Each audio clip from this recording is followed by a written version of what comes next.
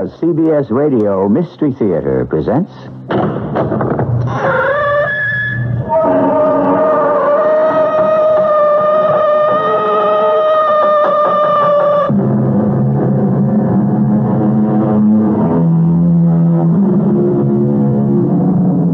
Come in. Welcome. I'm E.G. Marshall. According to Pythagoras, anything that can happen to anyone anywhere in the world can also happen to you. I guess what the old gentleman was trying to tell us is there's no custom so strange, no usage so foreign, no fate so unusual that it cannot suddenly pierce the protective barrier of the familiar, behind which so many of us cower for safety. Why did you kill Georgiana Slater? I don't even know anyone named Georgiana Slater. Are these your clothes? Yes, but What were they doing in her house? I don't know. Is this your gun? Yes? It's the gun that killed her. Tell us the truth. I didn't kill her. I didn't know her. I never even heard of her.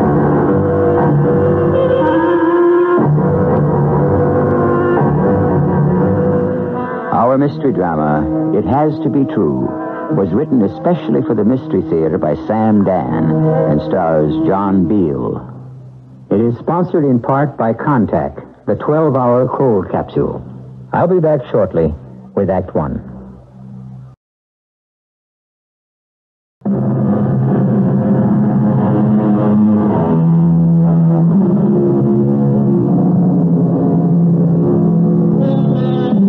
Just suppose, says the philosopher, that this were the last day of the world. Well, of course, no one is really prepared for such a question, much less such an eventuality. And yet, it's possible for the world to come to an end. Suddenly, silently, a candle blown out by the wind. It happens just that way for so many people. At one moment, they glory at the light, and at the next, they grovel in the dark.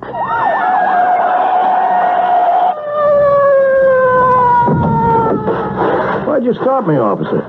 Step out of your car, please. I wasn't speeding, I'm sure. Come out very slowly and keep your hands where I can see them. What's this supposed to be? Turn around. Lean forward. You mind telling me? Place your hands against the hood of the car. Now, hold it, officer. You don't have to search me like this. I'm, I'm, I'm not some criminal. I'm James Arthur Correll, assistant sales manager of Arcturus Electronics. We have instructions to pick up a James Arthur Correll who answers your description and is driving a gray four-door Aurora sedan. Pick up? What do you mean, pick up? You'll have to come with us, Mr. Correll. Well, I have to be in Chicago this evening. I'm sorry, sir. Officer, I have no intention of resisting arrest, but this is a mistake. If it's a mistake, it'll be straightened out. Mr. Corral, I'm Inspector Luther, homicide. Homicide? What does that have to do with me? The arresting officer has already informed you of your rights. What am I being accused of? Did you know a Mrs. Georgiana Slater? No. She resided here in Benton City, 87 Rutherford Place. I don't know anybody at all in Benton City. No, I never even stopped here before. you didn't. Well, it's just a place I drive through en route to Chicago. Actually, I don't even drive through it. I, I bypass it on the highway. Uh, a Mrs. Georgiana Slater was murdered this afternoon. Well, what does that have to do with me? At this point, you're a material witness. Material witness? Inspector Luther, is that your name? I, I didn't witness anything.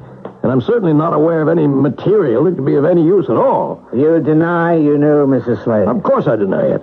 You never called at her home on 87 Rutherford? I don't even know where that is. You never parked your car in front of 87 Rutherford? Of course not. You never spent the night there? Never. You didn't have a relationship with Georgiana Slater? I told you, I never even knew such a person. Excuse me. Uh, Eddie, bring in the carton, please. Inspector, would you mind telling me what's going on? No, of course. Oh, thanks, Eddie. Now, put the carton down on the table. Now, Mr. Corral, in this box are some items of wearing apparel. Well, that's. Uh, well, those are. Those are my. This cardigan sweater. Can you identify it? Uh, it's mine. And these blue pajamas. This maroon robe. Look, all those things. They're mine. Where'd you get them? In Georgiana Slater's bedroom. Oh, no. No, there's no way they could have gotten there. No way, Mr. Corral. No, no. This this thing, it's crazy. I got.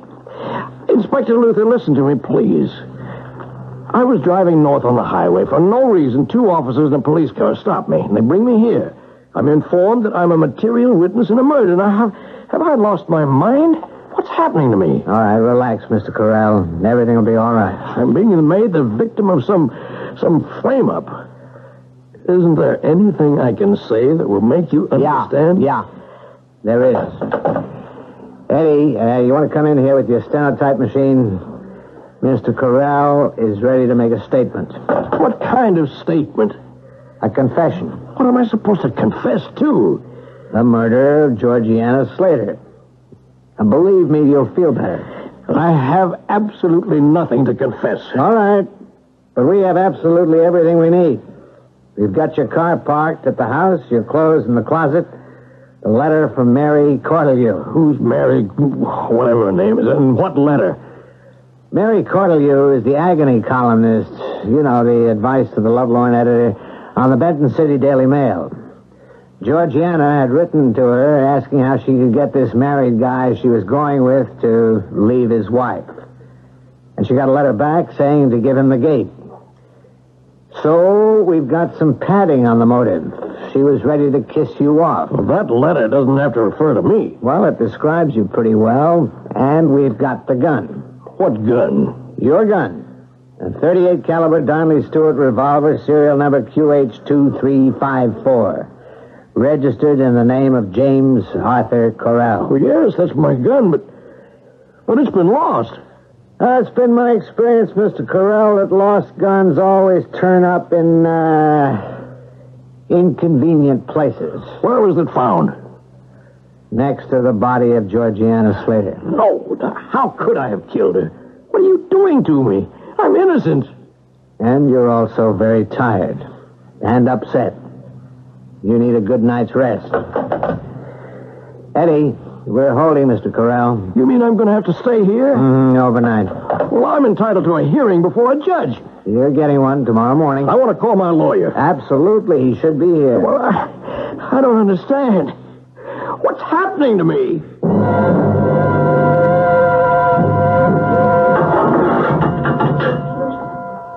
James?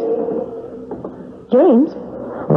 Wake up, darling. Oh, oh, I'm here, darling. I'm here. oh, Della, did I have a dream? A nightmare. I dreamed I was in. I was. I was in. James? Della, it wasn't a dream. I'm in jail. We couldn't get a plane till six in the morning. We? Walter Sturgis and I. Oh, Walter? Well, I, I know you're not overly fond of Walter, but I can't imagine why. He thinks you're the salt of the earth. Well, I told you to call old man Paulson. He'd have the corporation attorneys defend me. Darling, you see, Mr. Paulson said that while he would certainly support you all the way down the line, it would have to be. uh, How did he put it? What are you saying, Della? Off the record. It would not be prudent to emphasize your connection with the Arcturus Company. Oh, I see where this is going. I gave Arcturus 15 years of my life. I opened up the entire Middle West. And now that I'm in trouble. Dearest, Sellers and McIntyre are basically corporation lawyers. They don't have any criminal practice. And Walter is a top trial lawyer. He's already taken over. He's in with the district attorney right now. We'll have you out of here in no time. James, I could hardly understand what you were saying on the phone last night. You're actually being held on a charge of murder? Yes. I don't believe it. You couldn't kill anybody. Whose murder? A woman named Georgiana Slater. Did you know this woman? Of course not. And why did they say you killed her? They claim I was having an affair with her. Oh, what? I know it's ridiculous. You, you know I'd never have an affair with another woman. You know that, don't you? Yes, of course I know that. But why did they arrest you? Well, they claim I was seen in the house and that my car was parked outside it. But that could have been mistaken identity, a coincidence. Surely they can't arrest a person for that. Well, they, there were some other things. What uh, other things? They found some of my clothes in the closet and my revolver. It was the weapon that killed her. They found it near the body. Oh, Stella, I, I don't know how they got there. James. James, have you. Have you been. I, I don't know what to say. Oh, please. I, I know it looks bad. Oh, maybe it's all my fault. What was your fault? I've been a little difficult to live with these past few years. I resented all the time you had to give to your job. I thought you were working too hard and neglecting me. Oh, Della. Uh, it hasn't been easy for you at Arcturus. Paulson is unreasonably demanding. I should have understood that. Della, uh, what are you saying? Maybe without meaning to, without even knowing it, you drifted into this, this situation. You needed a place where you could just escape from pressure. Oh, darling, I'm so sorry. Della, I don't know what you're talking about. I don't care what the evidence implies. I didn't kill this woman. I believe you. I didn't have an affair with her. I didn't even know her. Darling, don't say any more. I'm your wife. I love you. I'll stand at your side.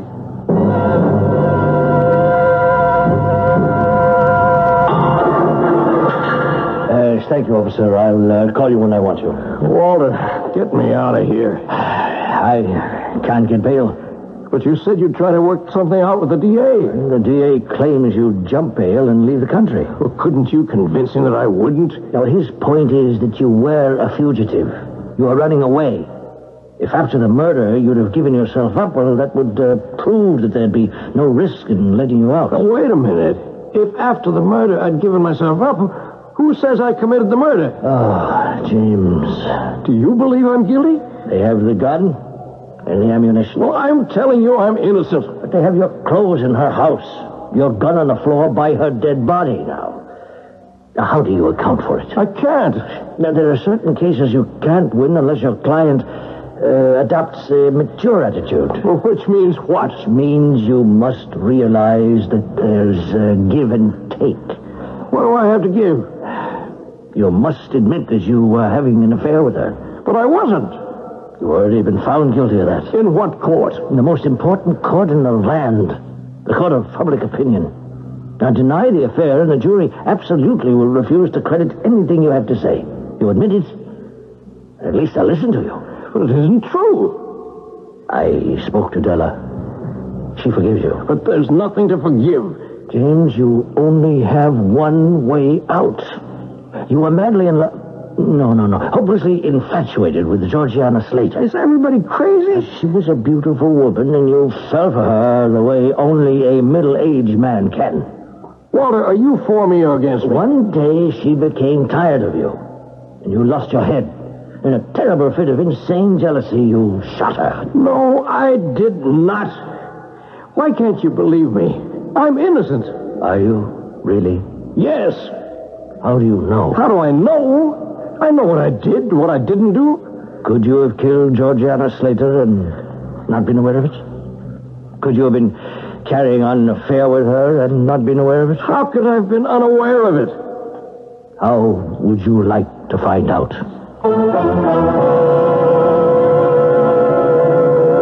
We should all like to find out. Here we have a man driving along, minding his own business, when suddenly he's taken to jail and accused of murder. And they have a whole battery of live evidence against him, too. What's going for him? His own conviction that he's innocent. How's he doing so far? Not so good. We'll see how it goes in Act Two.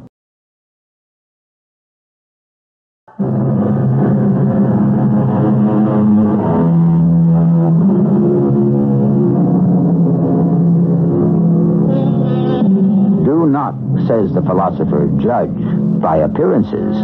Very good advice, but seldom followed. The unfortunate fact is we do judge books by covers, birds by feathers, and women by beauty.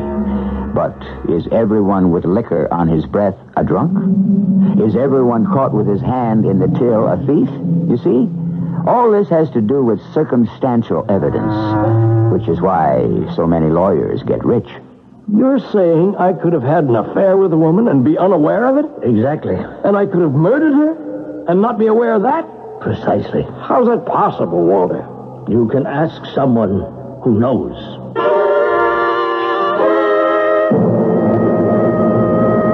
Doctor, I don't know what my attorney, Mr. Sturgis, has told you, but I want the record straight. By all means. I'm in the middle of something. What? Well, something I can't explain. Ordinarily, I'd say it's a dream, a, a nightmare, except if it were, I, I should have awakened long ago. Mm, try to describe it. On my way to Chicago, I'm suddenly arrested for the murder of a woman I don't know, named Georgiana Slater, who lives in a city I've never been in. And I'm confronted with a mass of circumstantial evidence. And next week, I'm actually going to trial. You don't know how this evidence could have gotten into Mrs. Slater's home. Well, not a gun, for instance. I had actually lost it some weeks before.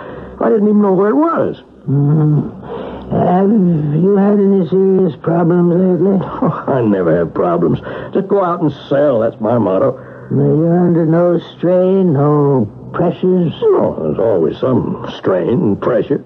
Why? What's the nature of the business? You have to be thinking and planning and pitching every day. Mm, Any strains between you and your wife? Yeah, absolutely none. Absolutely. No, well, there's always this and that in married life. Huh. Any serious arguments? Well, it depends on what you call serious. What do you consider serious? Well, there was an awful lot of flack about the the amount of time I give to the job. Mm, So things are not exactly cheery at home, huh? Would that be a fair one-word description? Hmm, I suppose it might be. And at the office, do things run smoothly? Do things really run smoothly anywhere? Mm, some places they do. Uh, what was your problem at the office? So who said I had a problem? Your wife was unhappy because of the long hours. Is that true? Well, yes. Well, there was a certain amount of friction. So the core of the problem is at the office. You put in long hours. Why? Well, I told you, it's a rough, competitive business. There's no clock. I guess Della could never really understand that. Uh, do you feel at the time you're putting in the, the, the energy that you're expending, the work that you're doing, is appreciated? Never, not in a million years. So you feel you're not getting the recognition and the compensation you deserve? Well, Doctor, nobody ever gets the recognition and the compensation he deserves. Oh, some people do. Uh, I certainly was being cheated out of mine. Cheated. That's a strong word. Well, that's the exact word to describe it. What I did, the, the way I was putting out, that was just taken for granted. And the result is that you're frustrated on the job and unhappy at home. As you just said, your boss is cheating you. And since you don't have the resources to quit, you have to cheat somebody too. Hmm? Who? Your wife? Oh, that's crazy. I'm not that kind of man. That's right, you're not. It goes against your moral fiber. Therefore, it's an act that you've got to perform without knowing it. To that end, you deliberately develop a form of amnesia. You lead a double life. A double life? Yeah, consciously, you're completely unaware of it. You find a woman far away from home with whom you can have a very uh, discreet relationship. Oh, I can't believe that. It it can't be. Your clothes in the closet, are they real? And the gun account for that? I, I can't, Doctor. The gun is the key. You were living in two worlds. The first, the primary, was the world of your job, of your wife, and your children, your home, the world you would call reality. But there is another world, an unconscious world, the world of Georgiana Slater. The world you tried to keep secret. even from yourself. You can never make me believe that. The gun, the gun is the bridge between the two worlds. The gun exists in both worlds. It's common to both worlds. When you feel you must end the relationship with Georgiana Slater, when you feel you must kill her. Doctor. The gun is the instrument. But it's at home, in the other world, the conscious world. You need it. Therefore, the conscious James Arthur Corell hides the gun and claims it's lost. While the unconscious James Arthur Corell knows where to find it. And thus it. All right, but, but just tell me, now, if I did know her, and if I was having an affair with her, if, if I did kill her, why did I leave my clothes and my gun by the body? If I knew she had written a letter to that columnist, why did I leave the implicating answer lying around? Hmm, Why? Yes, why? Because you wanted to be found out, caught, and punished. Doctor, this, this story you've just told me, do you actually believe it? I believe it could be true in your case, Why? because I've come across it before. You mean people can be unfaithful to their wives, lead a double life, e- even commit murder, and be unaware of it? Hmm, certain people, yes. And that's what's happened to me? James,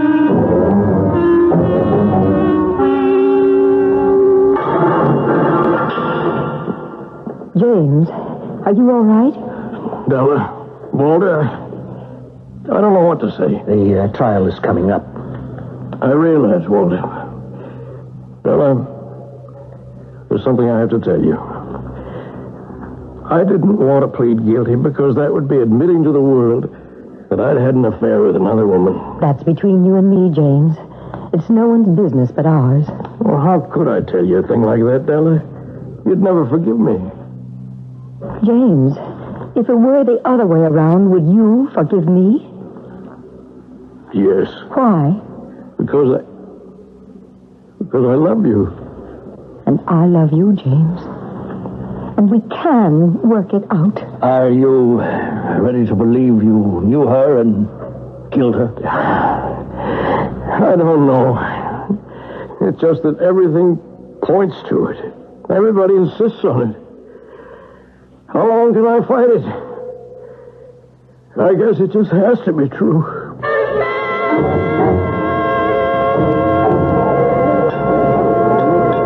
Well, Mrs. Luther, enjoying dinner? Oh, I was, John.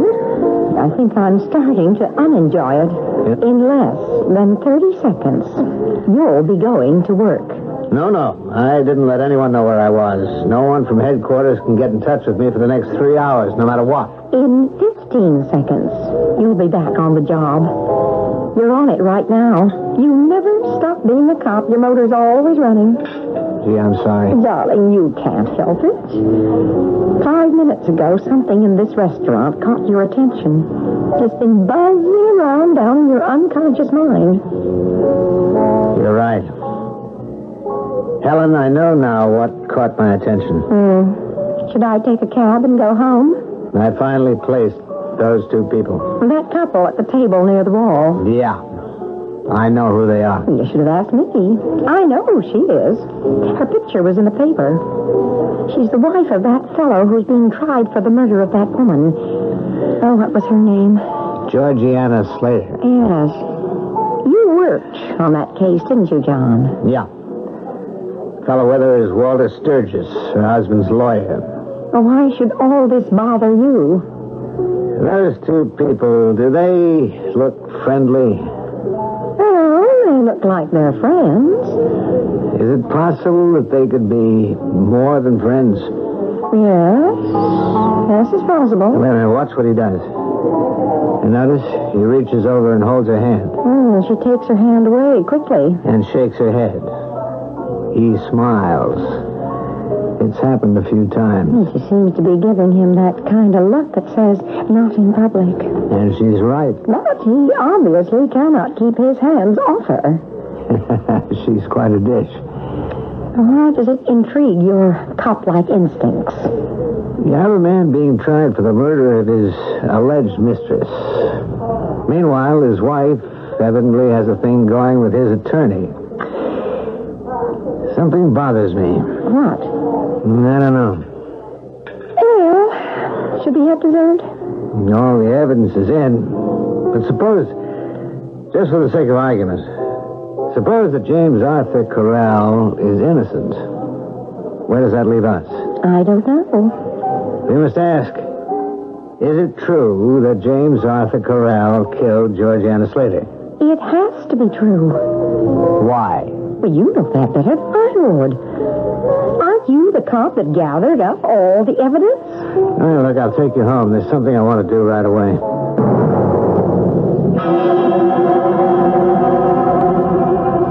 Remember me, Mr. Corral? Yes? You're the police inspector. Well, what do you want? I mean, it's, it's the middle of the night. I uh, want to ask you some questions. Why? Just answer them. Oh, what's the difference? I spoke to my lawyer about my plea. Walter Sturgis? Yes, that's his name. How come you picked him to be your lawyer? Look, what is this all about? Now, just answer. I don't have to answer anything. Why don't you try? What for? Maybe you were right all along. The last time I saw you, you were trying to get me to sign a confession, remember? That's right. I was. And I kept refusing because I was positive I was innocent.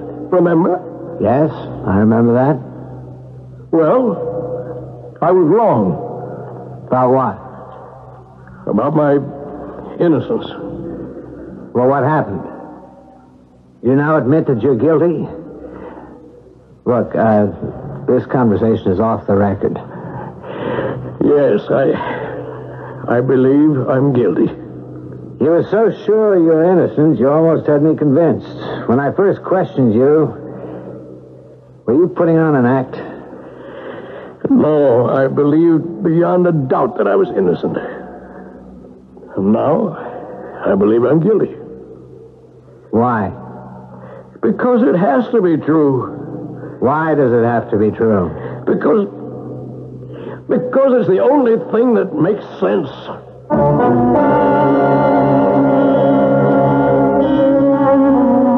You see, even the hardest rock is slowly eroded by the constant rains, and even the strongest conviction may be undermined, confused, and overcome by the unrelenting pressure of circumstance.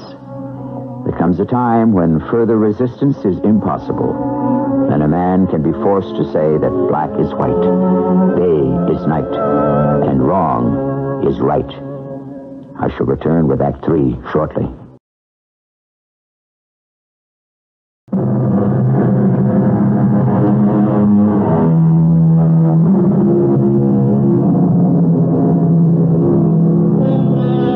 You may find this hard to believe today, but about five centuries ago, a man got himself into hot water by insisting that the earth revolved around the sun instead of the other way around, which was the accepted wisdom of the time. Well, if they could force Galileo to recant publicly what he knew to be true, what can we expect from James Arthur Correll, an ordinary, average, everyday, middle class citizen? Wait. You're telling me now that you're guilty, Mr. Corral? Well, isn't that what you kept telling me? I'm doing exactly what you said, Inspector. Don't fight it, you said. Well, I'm not fighting it. You and the psychiatrist said I could be guilty without knowing it. All right, I accept it. What more do you want?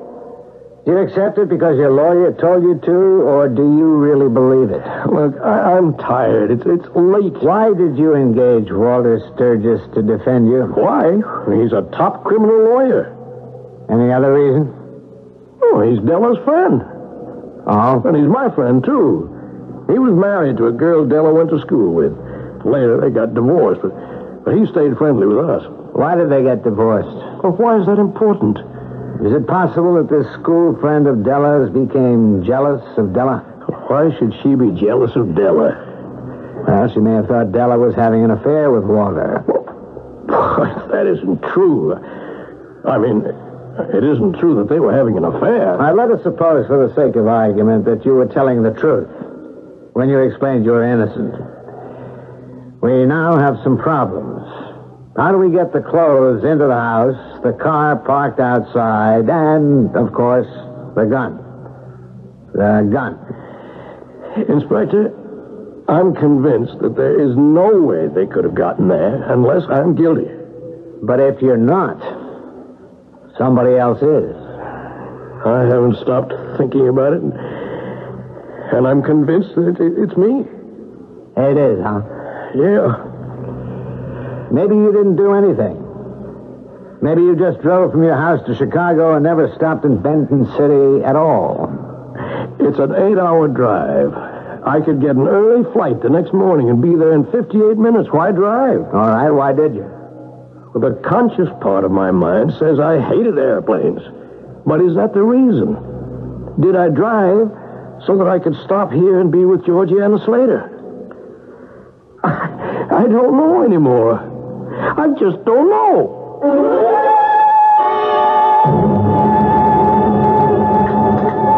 Well, how'd it go last night, Inspector Luther? Ah, crazy.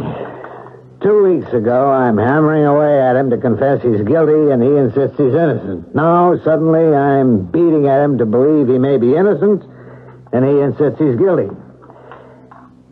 What if somebody was out to get him? His wife? And his lawyer? Hmm. I would consider them prime suspects. Let's say they arranged an elaborate frame-up.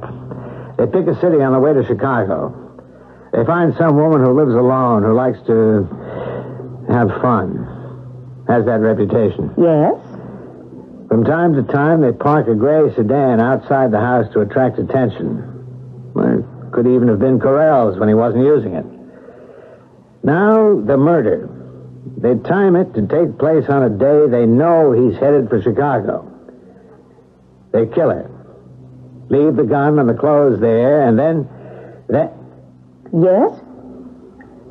I remember exactly how it broke. A call came in saying that there was a noise. Sounded like a shot from 87 Rutherford Place. Anonymous call. They could have placed it. Then there was another anonymous call to the effect that there was a gray Aurora sedan parked in front of 87 Rutherford. The license number, and a man was seen getting into it right after the shot was fired. The description turned out to be Correll's. John, are you actually saying the wife and the lawyer are guilty? When they brought Correll in, I never saw a guy who seemed so genuinely surprised. Suspects are constantly insisting they're innocent, but Correll actually had me going for a minute. Well, what can you do about it? I don't know. I can't prove his wife and Walter Sturgis killed Georgiana Slater.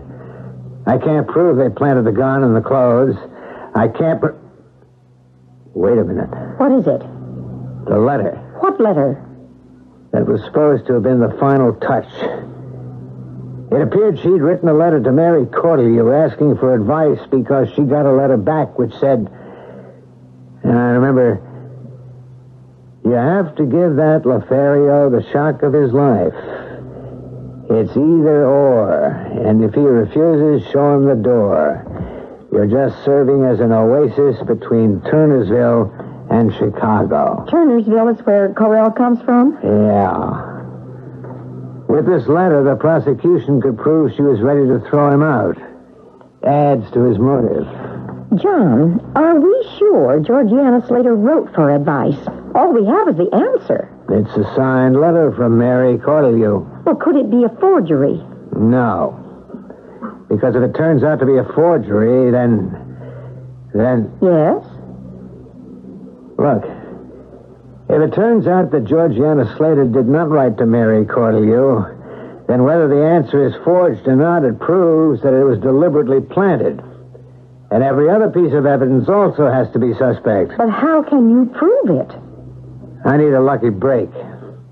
And so does James Arthur Correll.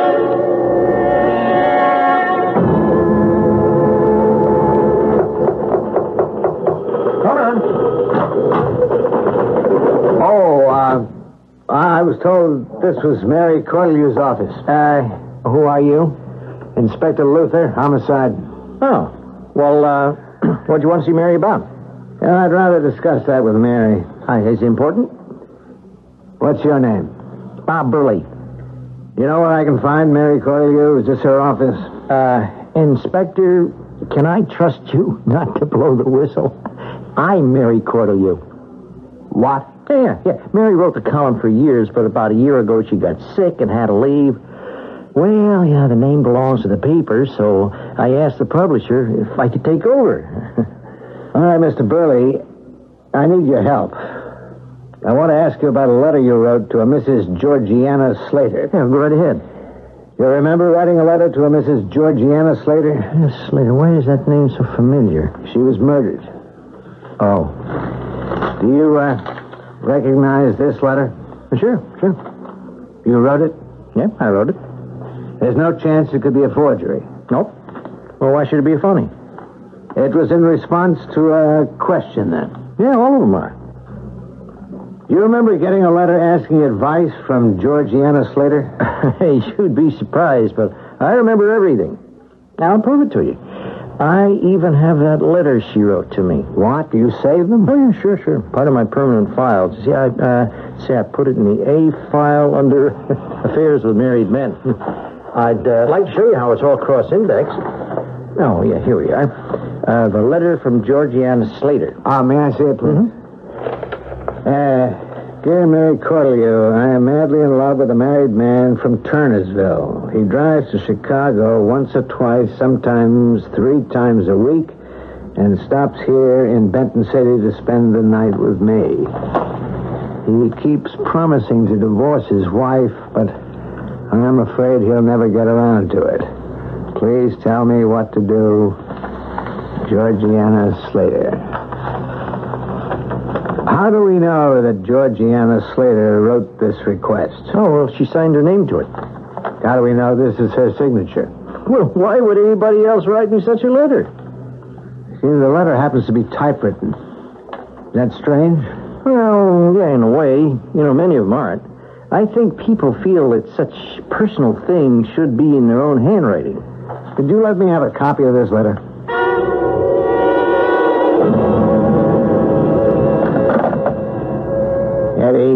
I have a letter here. I want you to do a couple of things. First, go to the bank Georgiana Slater used and see if it's her signature on it. Second, check through the list of effects in her apartment and see if she owned a typewriter. Have you uh, seen James? Oh, yes. I visit him every morning. And how is he? Reconciled. He believes it. The way it sets up against him, it's hard not to believe it. Oh, Della, darling. Walter, not now. I've so many things to do. And you must be busy, too. The trial starts tomorrow. You know, Della, sometimes I, I wonder if you really love me. Oh, darling, how can you even doubt it?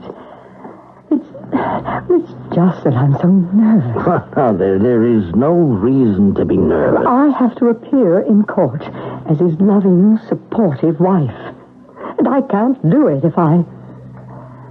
You understand? Yes, yes, of course, of course. There'll be so much more time later, darling. You'll be in jail. I can get a divorce quietly. Who would that be? Hmm, Doesn't matter. But should I be here in your suite? Why not? I'm your husband's lawyer.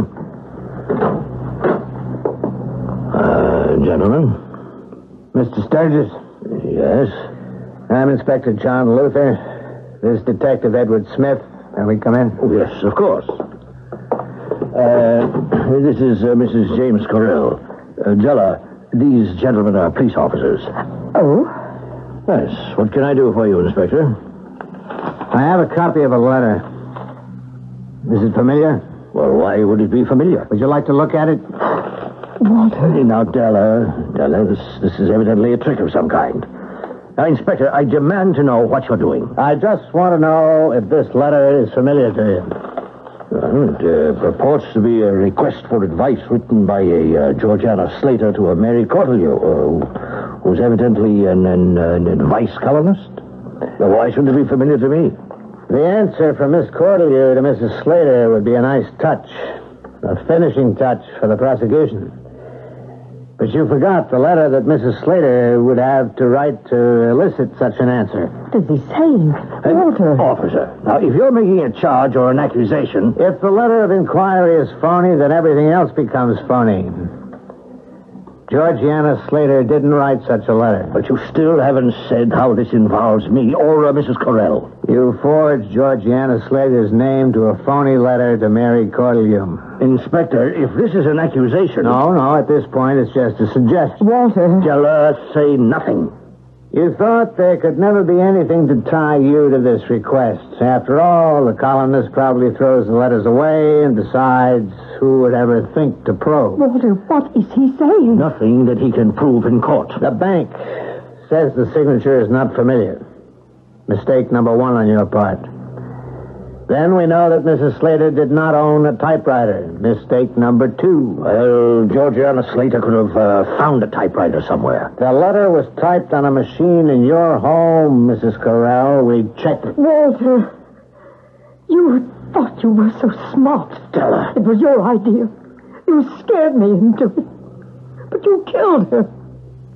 Inspector, I don't know why I listened to him. Maybe because James was away so much. Della, they have no proof. They found out about the letter. They can find out about anything now. Anything. But it was your idea. His idea, Inspector. I don't know what got into me. I must have been out of my mind. I was upset, confused. Uh, Mrs. Correll, do you mind talking a bit more slowly so that Detective Smith can take it all down?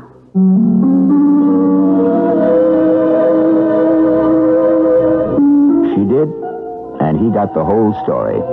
The entire tawdry tale of two-timing, deception, all the little falsehoods, schemes, and intrigues. It unraveled quickly because it was so complicated. And it was complicated because Walter was so very smart. A pity. If he'd made it simpler, it might have worked. But then we wouldn't have had a story. I shall return shortly.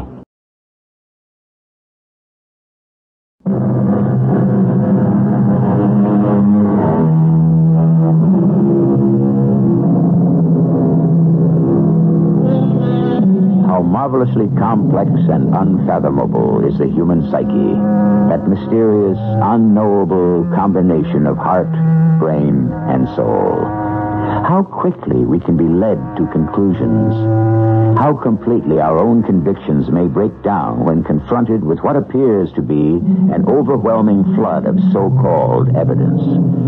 Sometimes we simply surrender in the face of the statement, it has to be true. It takes courage to stand up and ask, why? Why does it have to be true? Our cast included John Beal, Robert Dryden, Joan Shay, and Earl Hammond. The entire production was under the direction of Himan Brown.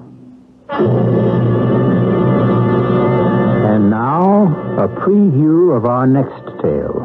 There was the black door with its seal directly in front of us. I felt Michael's hand on my arm. I don't feel well. Michael, it's all right. I, I can't go in there. Well, I'd best knock off the seal first. I'll use my walking stick. I can't. I can't. Suppose Cartwright goes in first. He has a lamp. I'll follow him, and then you, Michael. What say? I thought I had the key. None of these seem to fit. then we can't open it. Michael, there's nothing to be afraid of in there. Isn't that a joke? After seven years, we can't open the door after all. What do you think we should do, Mr. Albemarle? Wait? It won't be different in the morning. It doesn't matter whether we tackle this tonight or tomorrow. There's only one thing to do. Break the door down. This is E.G. Marshall inviting you to return to our Mystery Theater for another adventure in the macabre. Until next time, pleasant dreams.